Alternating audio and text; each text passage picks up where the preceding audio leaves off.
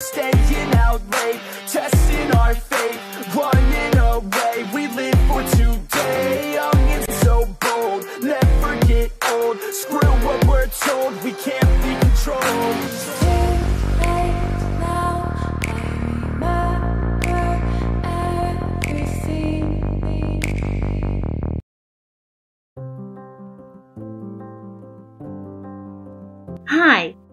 مرحبا بكم في فيديو جديد من سلسلة تعرفوا علي حيث تطرحون أسئلتكم لأجيب عليها. ستجدون رابط السلسلة في صندوق الوصف. إذا لنرى عن ماذا تساءلتم اليوم.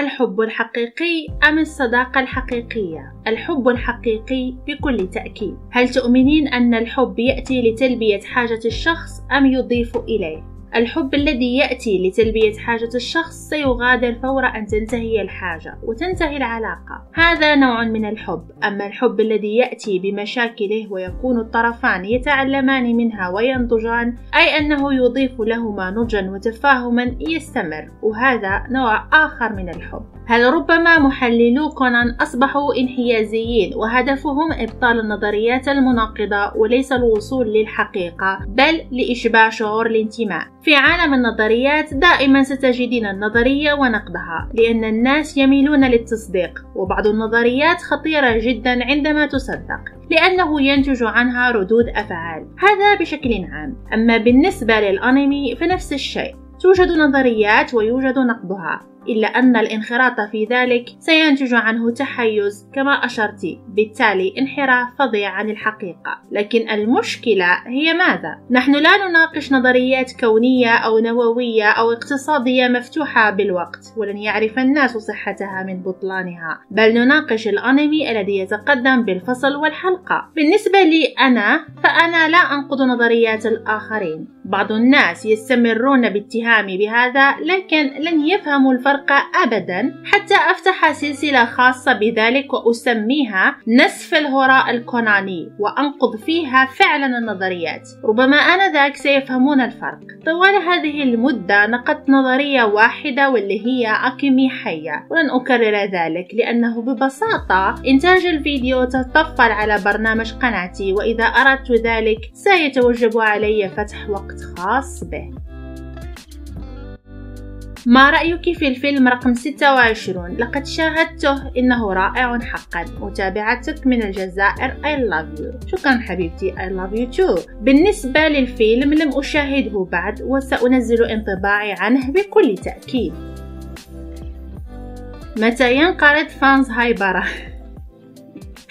بعض الفانز تبعها حولوها لملاك وهي شيطان في هيئة ملاك. قد يصدمك خروجهم المفاجئ هذه الأيام لأنهم في حالة طوارئ بعدما نشرت أنا مجموعة فيديوهات لن تعجبهم. قادمة. لذلك استعد وأنت تعرف بماذا.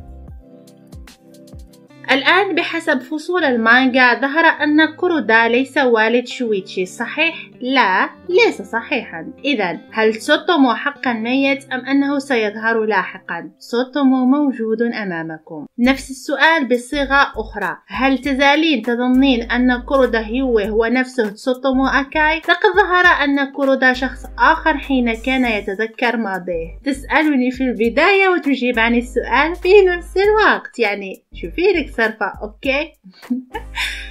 حسنا هل أزال أظن أن كورودا هو تسوتومو؟ طبعا لا أزال على نفس الرأي. أما عن قضية تذكره لماضيه فأنا شرحت لكم أن كورودا سبق أن كذب علينا. ومن يكذب لمرة يكذب ألف. هذا دون أن ننسى أنه يعمل بالأمن العام مع ري وغوشو صرح أن أمورو كذب ثم رأينا كورودا يكذب.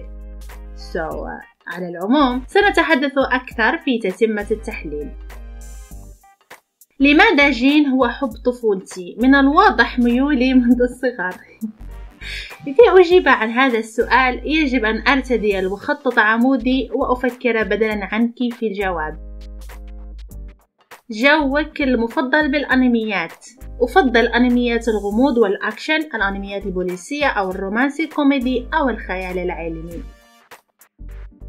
إذا طلب منك غوشو تقتلي شخصية تحبينها مرة والجمهور يحبها مين تختاري؟ أختار شبشبي كيف يعني يقتل شخصياتي المفضلة وأسكت له؟ كيف يجرؤ؟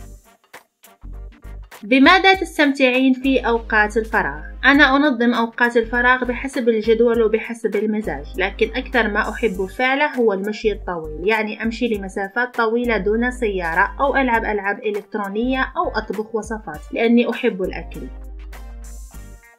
سمعت البعض يقولون أن علاقة كونان وهايبرا متطورة في الجانب الرومانسي في الفيلم رقم 26 وهذا يزعجني. بين قوسين لم أشاهده بعد. لا داعي للانزعاج لأن علاقتهما متطورة فقط في أحلام البعض من فانز هايبرا. ولو شاهدتم الفيلم حقا لعرفتم أنهم يصنعون قصة من لا شيء. لا شك وأن فانزها لديهم وسائد شيطانية. كلما ناموا بالليل حلموا بأن شينتي تزوج من شيهو أو كونان. كونان دخل بعلاقة مع هايبرة.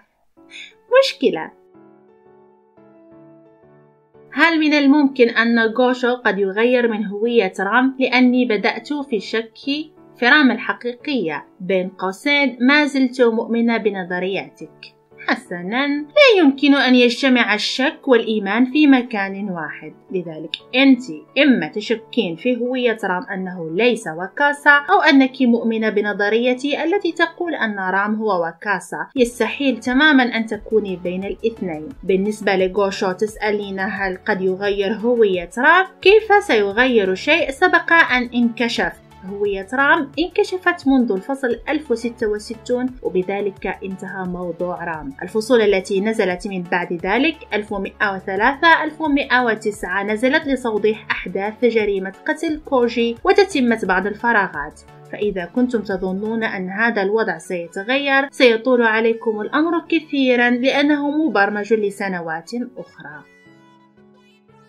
هل فقدان تسوتومو له علاقة بالمنظمة؟ ففي arc ماري فلاش باك قالت فيرموت على ما أعتقد أنه مات أعتقد أنك تقصد هذا المشهد طبعا المنظمة مسؤولة عن ذلك ولكن هو مثل أكايو كامل شخص يفترض أنه ميت من هو رام في رأيك؟ يوشيدا أيومي ليه وكاسا ما تعاقب واكيتا لمحاولته قتلها مع أنه مساعد لها؟ لكي تعاقبي شخصا ما على خطأ يجب أن يكون الشخص المعاقب على دراية بالفضيحة اللي عملها. لا يمكنك أن تعاقبي شخصا لا يعلم أي شيء خاصة إذا كان من أمهر القناصين عندك. مثلا فطلقة تحذيرية كافية للغرض. هل يوجد مشهد يجمع بين واكاسا وواكيتا وجها لوجه؟ هل سمعناهما يتحدثان لبعضهما مباشرة؟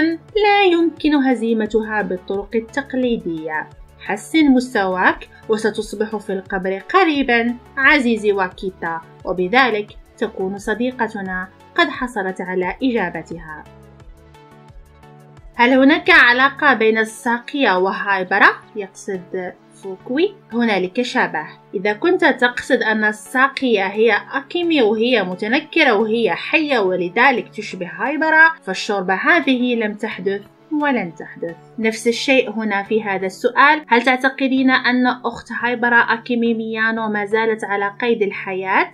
لا هي ميتة. يوجد تصريحان أنها ماتت ولن تعود. على الرغم من وجود شخصيات يفترض أنها ميتة ولكنها لا تزال على قيد الحياة إلا أنه لن يكون نفس الأمر لأكيمي تفتكري إيه هي نهاية جين من أنمي المحقق كونان؟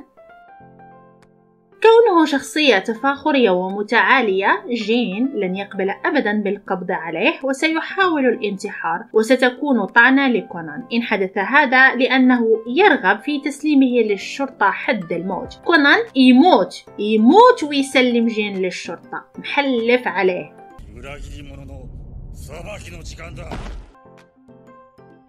هل ماري هي خالة هايبرا؟ نعم ماري هي أخت إلينا ميانو وبذلك تكون خالة هايبرا وأكيمي أنا غير محبوبة ومتجاهلة باستمرار وانطوائية جدا جدا. أن تكوني انطوائية فهذا شيء عادي. إنه نوع من أنواع الشخصيات ليس عيبا ولا هو مشكلة.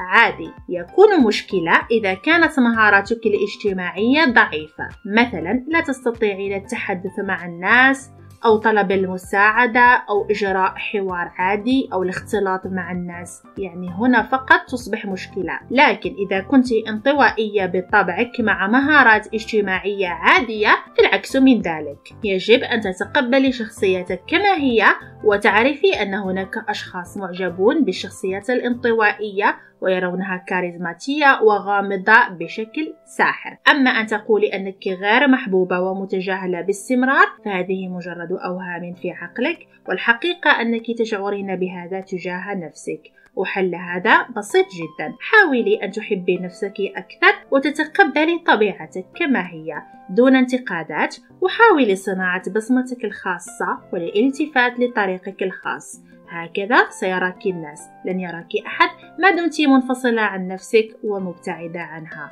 الحل دائما يأتي من الداخل وليس من الخارج. ليش ما تسوي بثوث مباشرة؟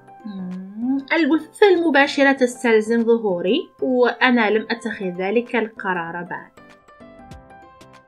الحين مشاعر أكاي تجاه أكيمي شعور بالذنب لأنها ماتت بسببه أو حبها حقيقي. أتمنى أن يكون شفقة عشاني أكرهها أول ما قرأت التعليق كنت آكل وضحكت حتى كنت أختنق.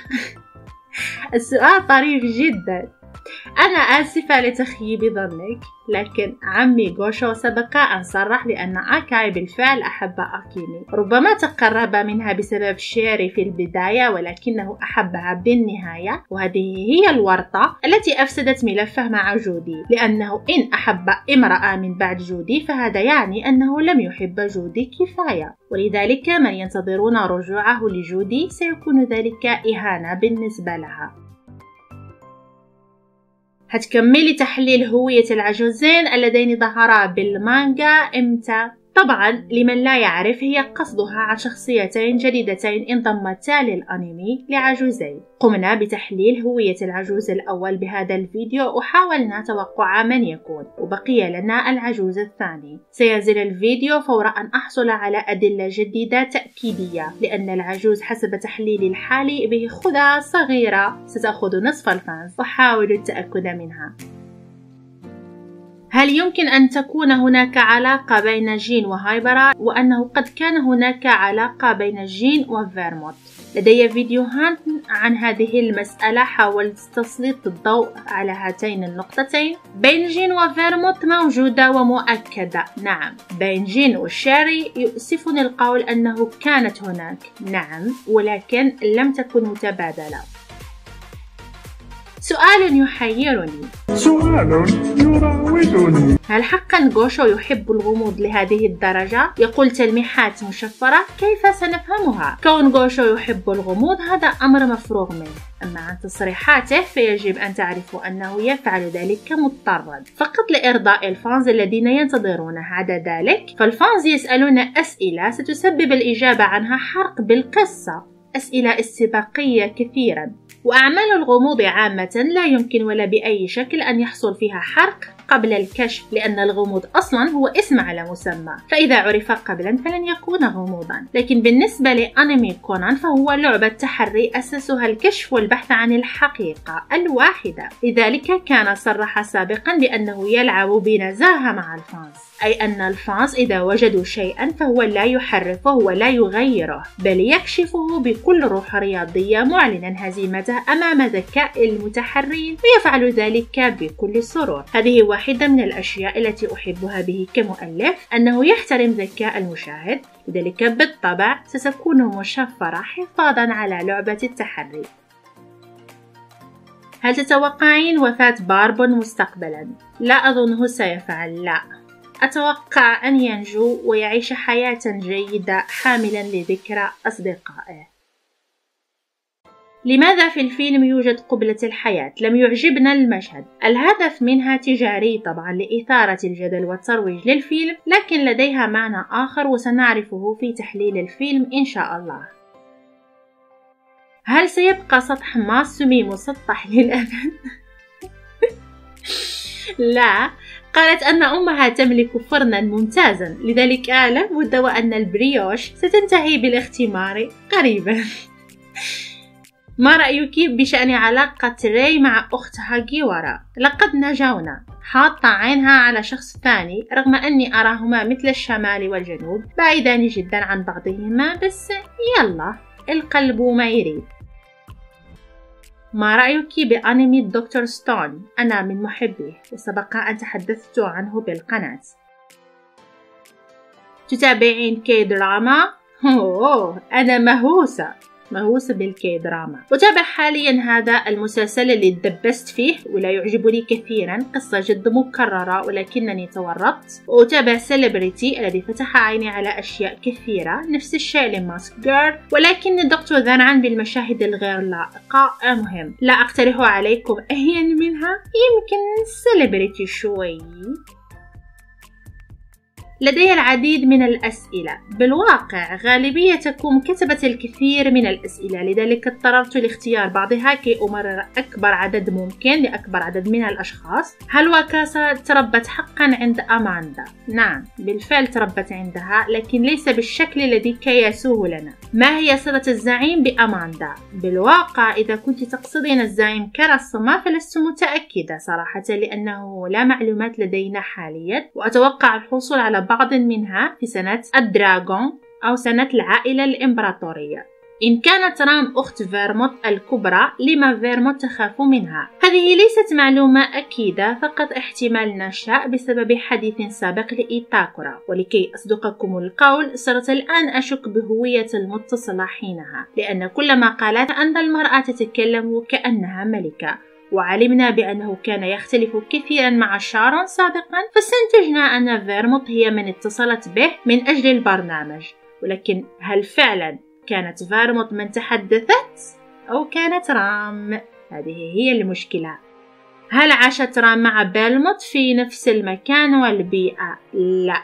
عاشتا في بيئتين مختلفتين تماما وبظروف مختلفة ومع أناس مختلفين تماما مثل ما حدث مع شيري وأكيمي شكرا جزيلا لك على كل ما تقدمينه لنا. العفو حبيبتي أقدمه بكل سرور. كان هذا القسم الأول من أسئلتكم. نتابع في أجزاء أخرى بإذن الله. نلتقي بفيديو جديد.